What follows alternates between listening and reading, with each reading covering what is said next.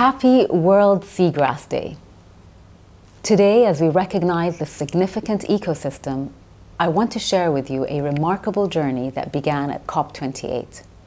There, under the UAE consensus, nations around the globe united with a pledge to end deforestation by 2030 and to integrate our efforts in climate and biodiversity action. This commitment underscored a pivotal truth. Our battle against climate change is inextricably linked to the health of our planet's ecosystems. At COP28, $2.7 billion were mobilized for conservation, spotlighting the pivotal roles of forests, oceans, and coastal ecosystems. Notably, global leaders recognize the critical importance of oceans, of mangroves, corals, and importantly, seagrasses in our climate strategy. These ecosystems are not just the lungs of our planet, but also the foundations of a sustainable future. Seagrasses stand out. They stand out for their unparalleled ecosystem services, supporting biodiversity, purifying water, and significantly mitigating climate change through carbon sequestration. Their capacity to store carbon is profound, highlighting their role not just in our environmental strategy, but a key element in our survival.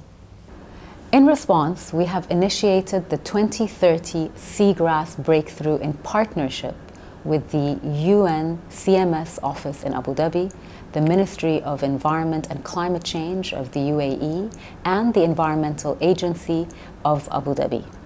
This initiative is not just about halting the loss of seagrass, it is about fostering a global movement towards recovery, protection, and sustainable management. It aligns seamlessly with our broader efforts for oceans, mangroves, coral reefs, creating a truly unified strategy for protecting our blue carbon ecosystems. These efforts are more than just conservation. They are a statement of our commitment to the planet, aligned with the Paris Agreement, the Kunming Montreal Global Biodiversity Framework, and the ambitious 30 by 30 targets. They represent our collective dedication to a resilient and sustainable future. As we move forward, let's remember the importance of these ecosystems are not only to our climate goals, but to the very fabric of life on Earth. I invite you all to join us in this critical mission.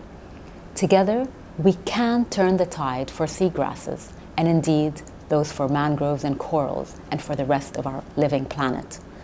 Happy World Seagrass Day.